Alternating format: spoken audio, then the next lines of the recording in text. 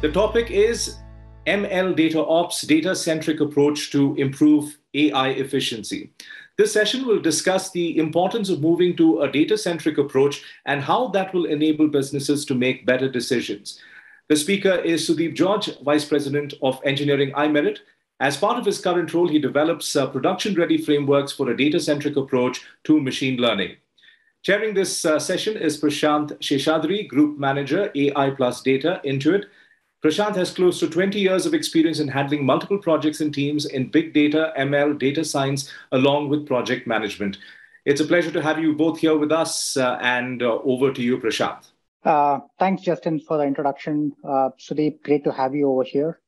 Uh, let me quickly start about by asking as to why do we need data-centric AI? What are your thoughts on that? Sure. Great to be on this conversation with you, Prashant, and really excited to be at the NASSCOM Experience AI Summit.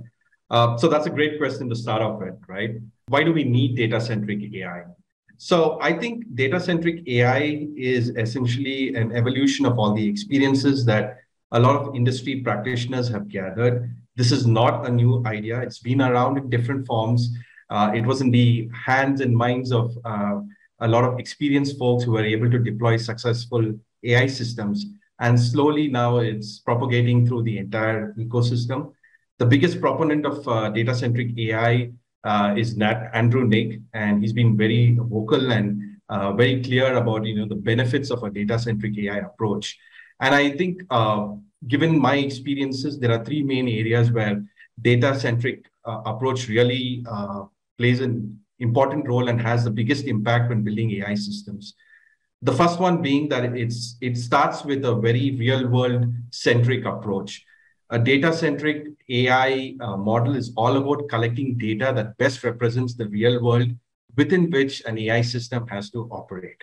Uh, it doesn't help if you have large amounts of data if those data pieces don't really give the full coverage or all the experiences that an AI system has could encounter uh, aren't covered within that data. So within a data-centric AI approach, it's all about data quality and how that becomes the most important paradigm by which data is collected, data is uh, curated, and models are uh, trained and tuned to uh, be deployed. In the uh, autonomous vehicle domain, there's this concept of operational design domain, where you define the domain within which the AI system has to operate. And accordingly, you start collecting uh, all the representative data and you build the appropriate models. And as you expand the domain, the data that you collect uh, increases, the complexity of real world scenarios that you need to cater to also increase. And that is where you know the data centric AI approach really uh, shows its strength because it's all about mimicking how the AI system is going to uh, behave in a real world deployment. The second pragmatic uh, aspect of data centric AI is all about uh, the cost and time involved in collecting data. Data collection is a pretty expensive uh, proposition. I work in, uh, with companies in autonomous vehicles, autonomous mobility domains, or even medical imaging uh, domains where collecting data runs into a gamut of issues. One is the cost to collecting the data, the time required to collecting this data, and also the privacy and other aspects around the data that's being collected. And as in as this data collection process uh, kicks in, it is also an inherently noisy process where there's a lot of bad data that's getting collected, and you need to start cleaning that up. So just collecting quantity of data doesn't really help. It is the quality of data. And by focusing on the data that matters, you're able to quickly iterate over these models uh, within, you know, and have perhaps a cost effective approach to building a model. And the third and the last, uh, I wouldn't say the last, but the one of the other aspects of a data centric approach is that it mimics the real world in how the real world keeps changing. Uh, data drift is a concept that we talk about in uh, ML systems. And data centric AI is able to cater to the uh, drift that occurs in data. Like, for example, uh, most of the face detection uh, models that were created probably failed when COVID kicked in and people started wearing masks, right? Uh, so how do you start catering to that? You collect more data. Uh, do you collect specific data that caters to those use cases?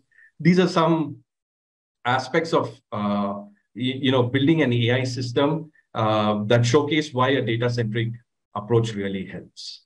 Thank you so much, Sudeep. Uh, wonderfully articulated. I mean, uh, for me, it's all about having a you know a very clean data. I mean, big, the biggest problem that we are facing today in the industry is having clean or accurately processed data, which is very essential for any of the AI systems.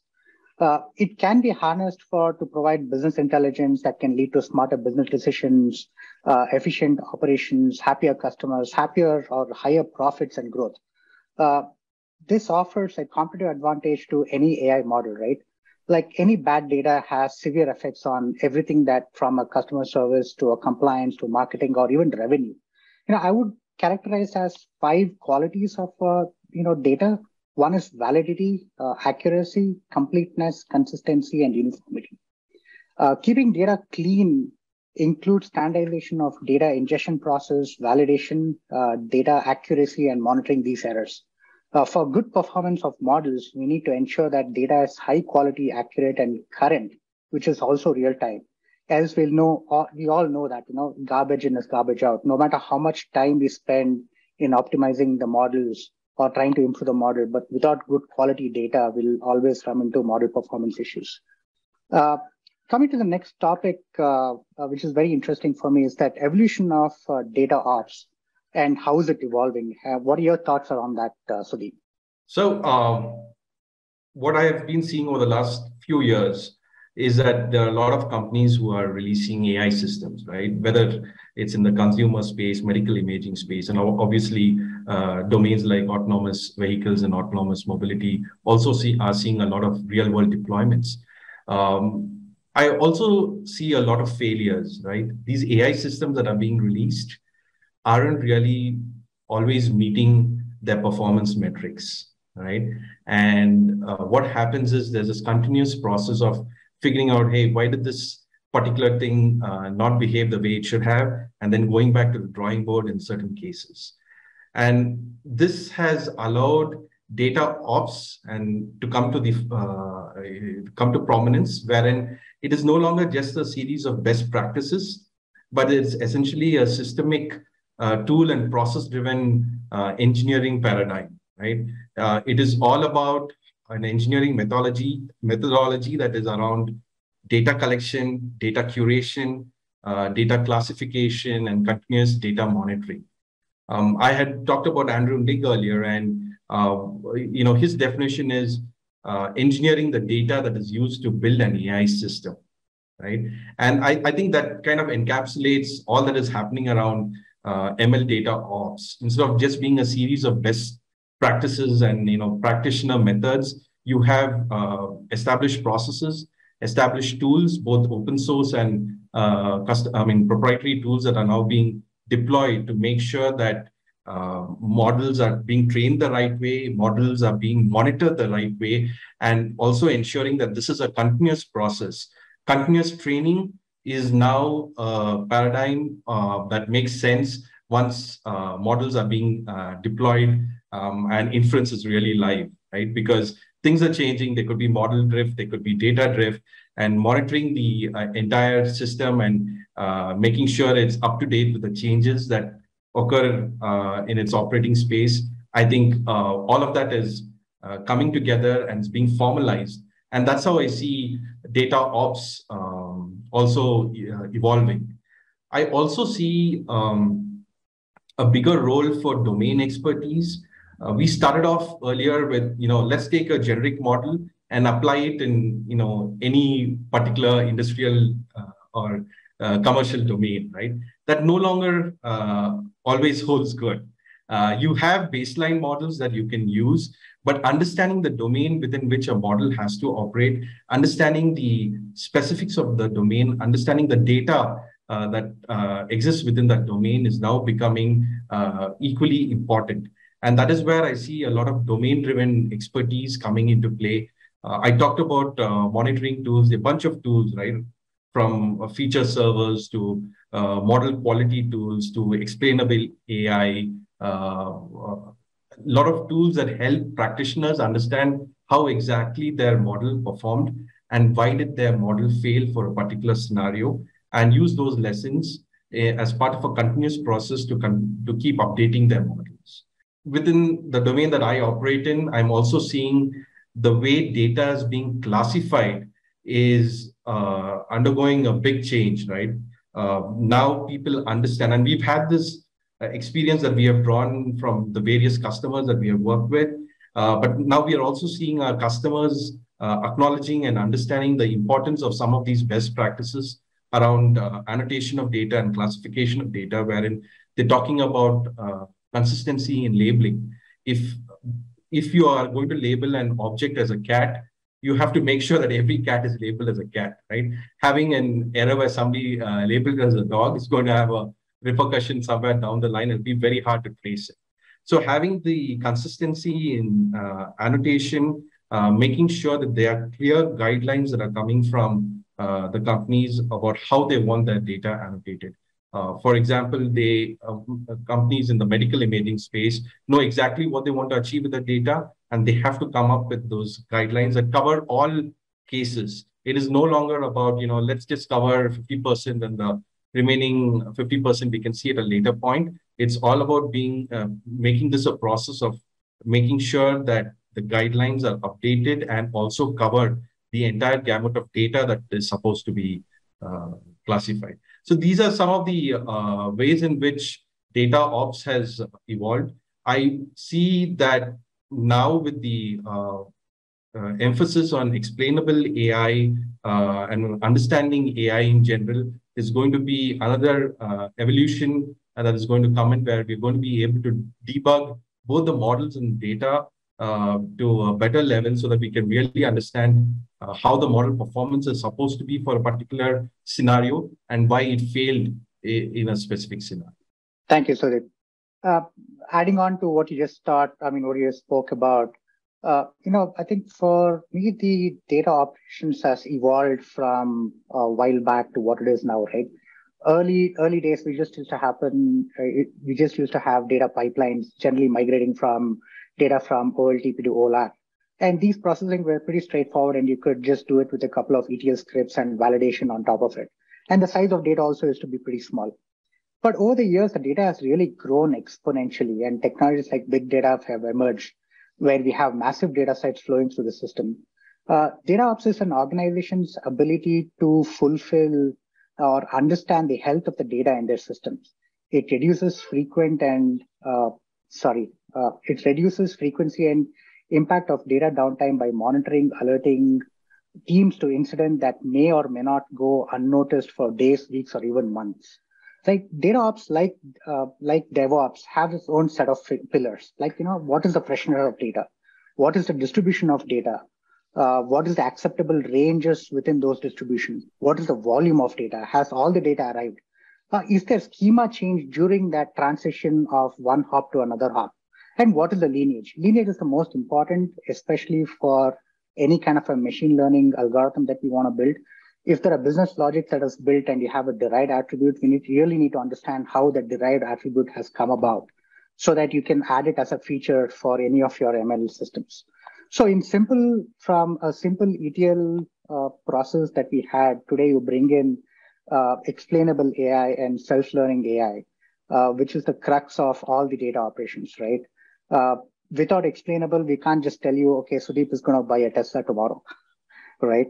Uh, we have to also explain as to why Sudeep is going to buy a Tesla. What is the rational or what's the model behind it uh, that's actually indicating that Sudeep is going to buy Tesla? So very interesting terms in terms of you know data ops. But you know, a follow up question that I had is that now we have data ops, then we have ML ops. Uh, and you know, what's the difference between data ops and ML ops? Uh, your thoughts, Sudhi? So I think ML ops and uh, data ops are, you know, they work hand in hand. Uh, they basically focus on two different aspects of building an AI system.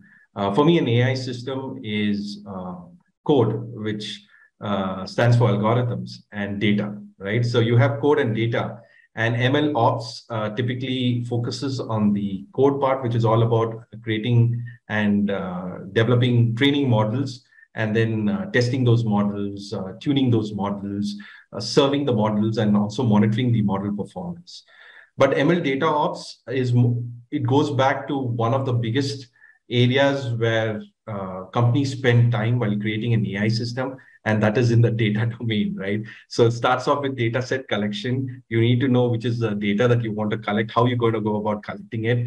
Then you go through this whole annotation and classification process, after which you then start curating the data. Uh, you want to filter out uh, anomalies, you want to filter out bad data. You then spend a lot of effort around that and then you use this data to you know kind of make sure that the models are trained and tested appropriately and once they are uh, you know served uh, you then start monitoring this data for drift you keep understanding what is happening in the domain versus what your model is seeing in terms of data and then kind of make sure that the data the training data that is used across the entire ml process is uh, or rather the ml pipeline is continuously up to date Another important aspect that I feel uh, that ML Data Ops focuses on is about edge case handling. Um, edge cases are the you know are those scenarios that make or break AI, AI systems. And given that a lot of systems are now being deployed, focusing on edge cases is perhaps the number one priority for most of the companies who are in the production phase. Um, so they have sophisticated tools and mechanism mechanisms to uh, monitor and uh, detect these edge cases. Um, in most uh, scenarios, the edge case is a factor of the data that was used to train the AI system. And so that comes back to how this data is being classified. Did you have enough coverage? Did you have a particular scenario that you didn't really collect data for? Can you use synthetic data? Can you use data augmentation techniques? All of these slowly start uh, adding up, right? And um, I, I, think it's a sign of the maturity uh, within this whole uh, AI domain that we now have this uh, plethora of tools and processes that we can use to improve both the model and the data. And that, uh, you know, is a great sign of the progress that has been made in this space. Yeah. Uh, so, Sudeep, can you highlight how a real world problem can be eased with uh, data solutions that you have experience in building? Sure. So data today comes from multiple sources, and in many cases, you don't even know where the data was collected from. I would, you know, start off with an example from public data sets.